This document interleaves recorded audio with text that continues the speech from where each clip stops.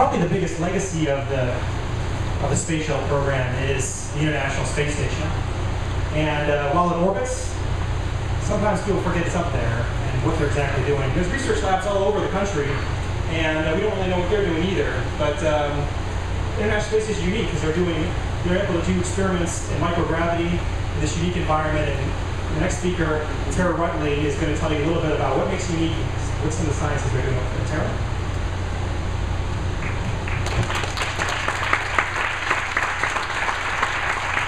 Thank you.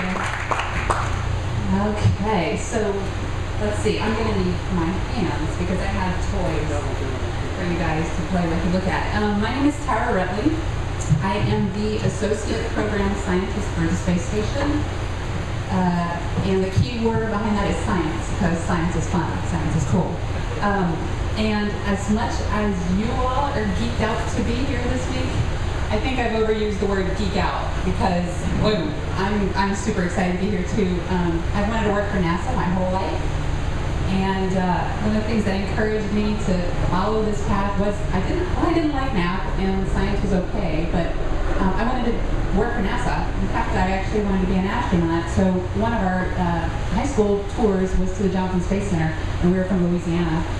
And I asked an astronaut, "So what does it take become an astronaut?" And he said, just have fun. Whatever you do to get there, just enjoy what you're doing. And that changed everything. So that's what I did, and that's that's how I ended up here. Um, so uh, I have my master's degree, well, my bachelor's of biology, my master's is mechanical engineering, and my PhD is neuroscience.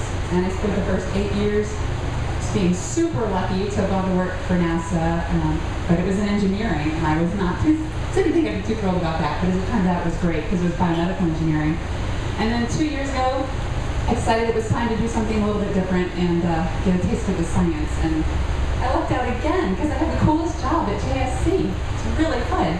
So anytime I get the opportunity to get people trapped in a room with four walls and just a couple doors and I can talk about space station science, I do. So I, I'm like, I appreciate your attention. And um, when I was thinking about what to say today, uh, I thought the best way to do it was the best way to sum up the thoughts that are going on in my head if I get a chance to say anything about space station science is uh, to sum it up in the top 10 space station research things you ought to know. And to do that, I had to make a list, a cheat sheet, because otherwise I could just go off on a tangent. So, um, first of all, you can find more information about space station science. That's at uh, nasa.gov forward slash ISS dash science. And we have a great website. Our Office of the Program Scientist uh, for Space Station has a blog, and it's called A Lab Aloft, and that's go.usa.gov forward slash ATL, or you can go to nasa.gov and look it up. And of course on Twitter, we are at ISS underscore research. And you all know how fabulous Twitter is. So here we go, top 10 uh, coolest, coolest factors of space station research. First of all, the big message is the space station is human exploration of space. Don't forget it. Yes, shuttle's ending and we have a little bit of changes going on with the Constellation program, but like, like John said, don't forget stations up there. It is human exploration of space. We have folks up there and its purpose is as an orbiting laboratory. They do research and when you think about the research, why do you do that? As you heard before, it's to advance things like just basic discovery, textbook knowledge. We, you know, that moves us forwards. Um, we want to enable Earth benefits, right? Give back to the folks down here. And uh, we want to further human exploration of space. So the research that we do up there focus focuses on either one or all three of those things. And anytime you can have an investigation that encompasses all three of those things, you're maximizing the use of space station for its scientific potential.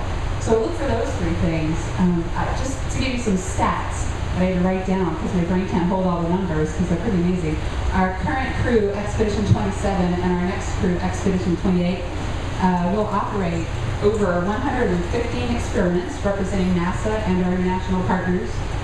Uh, there are nearly 30 facilities on orbit right now dedicated to, to research solely, and they have supported over 1,100 investigations representing over 900 scientists in over 60 different countries.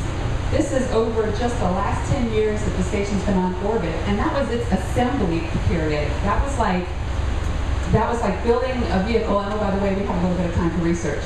And all these numbers represent only 20% of the entire research plan for space station. That's, that's massive already. So through 2020, we have plenty more to go. It's pretty amazing. That was number 10. Number nine. In 2005, NASA, uh, well, the U.S. Congress designated, uh, designated the U.S. assets of the space station as a national laboratory. And you may have heard about this, not quite sure what it means, but basically what it means is that um, while NASA's research goals are centered around human exploration of space, the National Lab Office research goals are centered around benefiting those on Earth and benefiting the public. And, and the National Lab Office uses NASA resources, NASA allocations on orbit, and launch resources to integrate those research experiments that are actually funded and provided through partners of the National Lab Office.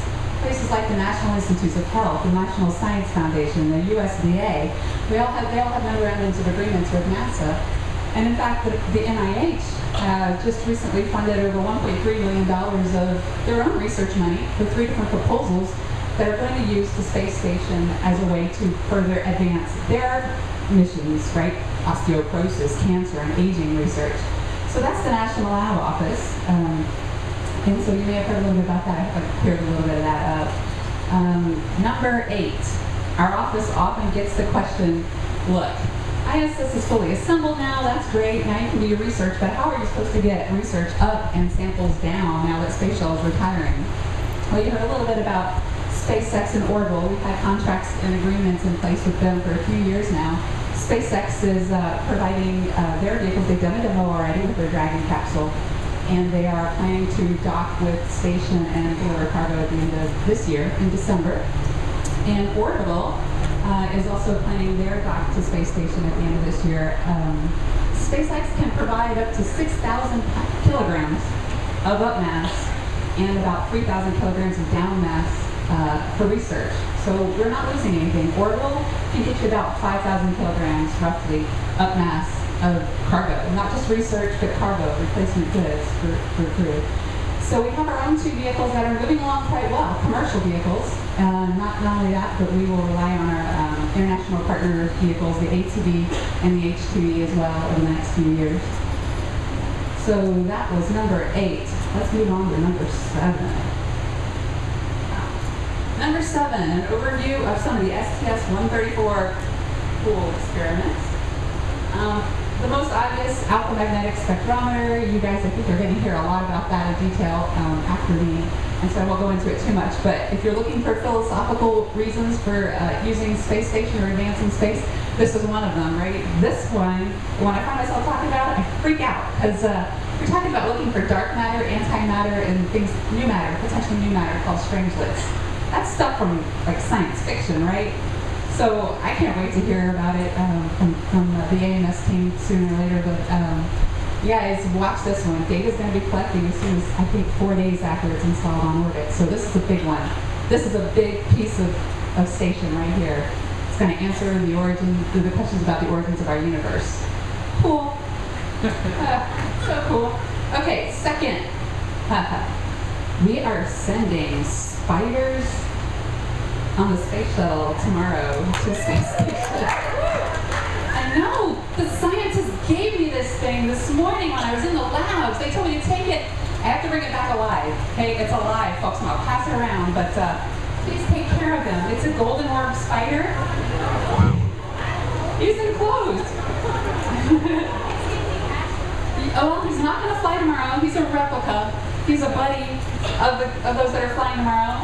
And uh, these guys are going up as part of something called CSI 05 experiment. Uh, it's an educational experiment where these golden orb spiders are going to be launched up, and they're going to uh, we're going to get video of them on space station about how they how they weave their web. And in fact, the video is going to come down to classrooms, and students across uh, the country are going to be able to run their own experiments with, with the same type of spiders alongside of what's happening on space station compare their experiments to those that are happening real time on orbit. If you go to bioedonline.com, bioed.online.com, there's way more information about this uh, really fantastic experiment. It's going to touch over 100,000 students. And um, And uh, so yes, we are flying those spiders. Uh, thi- This experiment's going to run over 45 days.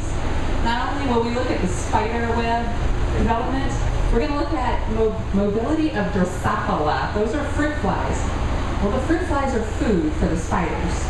But, well, you know, we gotta make use of them somehow. Yes, they'll be eaten, but actually, we're gonna look at how they're gonna move in space. That hasn't actually been investigated fully before, their behavior. So fruit flies and spiders, and a third part of that experiment will be plant growth. And students will have access to seeing what's happening on orbit here. Um, one more experiment I want to mention about STS 134 is the ELC-3. You've heard a lot about. Uh, it's flying, um, and it's going on station. It's flying up the station, and when it's installed on the external truss of station, it's going to carry a plasma detector.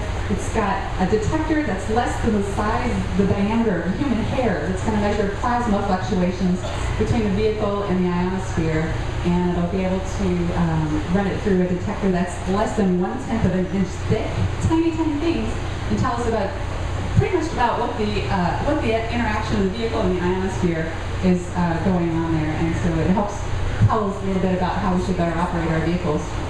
Um, so that was number seven, the top, some of the cool experiments for 134. Now we get into some of the top experiments, some of the research results that we've seen already from station.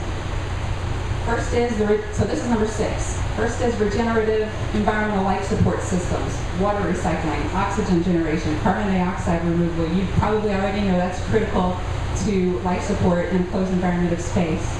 And the information that we gain from just using these types of equipment on space station has already benefited those of disaster relief zones.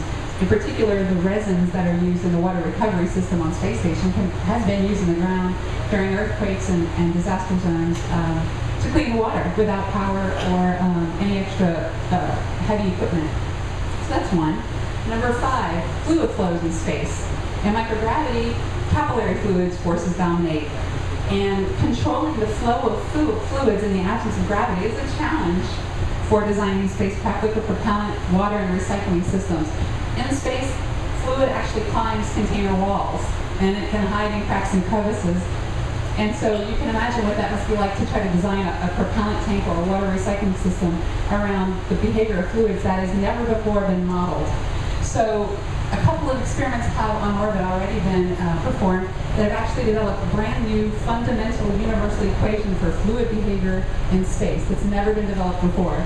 And the investigator for this has actually released uh, recently some open source code that allows the rest of us who are interested in um, understanding fluid flow behavior in space as well. So that's fundamental textbook knowledge gained and it helps benefit those in space. But on Earth, that means something to us for designing things uh, that have to do with um,